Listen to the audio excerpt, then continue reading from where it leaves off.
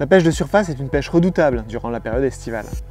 Quand on pêche au pain, le plus gros souci, c'est non seulement de faire des lancers appuyés, mais aussi de pouvoir avoir son morceau de pain à la surface suffisamment longtemps.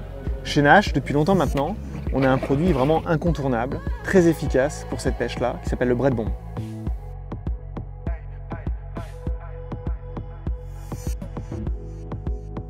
Le bread bomb, c'est un morceau de caoutchouc qu'on va pouvoir venir faire glisser sur l'œillet et la hampe de l'hameçon. Et il suffit ensuite de l'écarter avec son pouce et son index pour pouvoir positionner du pain, du pain en baguette ou encore euh, du pain de mie. Le bread bomb est proposé euh, en deux tailles, small and large, petit et grand, en fonction donc de la taille d'hameçon qu'on va être amené à utiliser et aussi du morceau de pain qu'on va souhaiter euh, utiliser.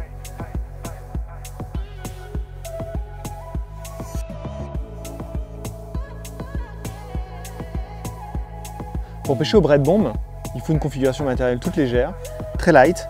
Là en l'occurrence c'est une petite canne, 6 pieds en scope, un moulinet, euh, léger également pour avoir toutes les sensations euh, et pouvoir euh, pêcher vraiment de manière active sans contrainte.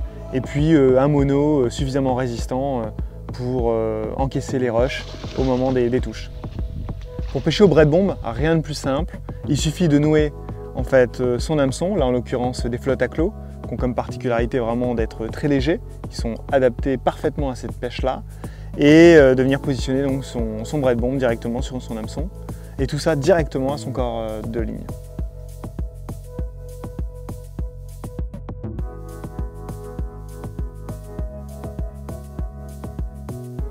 Pour résumer, euh, la pêche au bread bomb, c'est une pêche qui est extrêmement simple, elle est accessible à tous, euh, le seul point, c'est peut-être de trouver là où les poissons réagissent bien au pain en surface.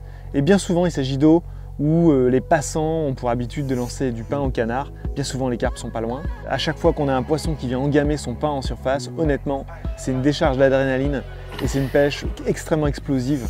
Et ça, ça, en fait une pêche vraiment euh, de prédilection pour toutes mes pêches estivales.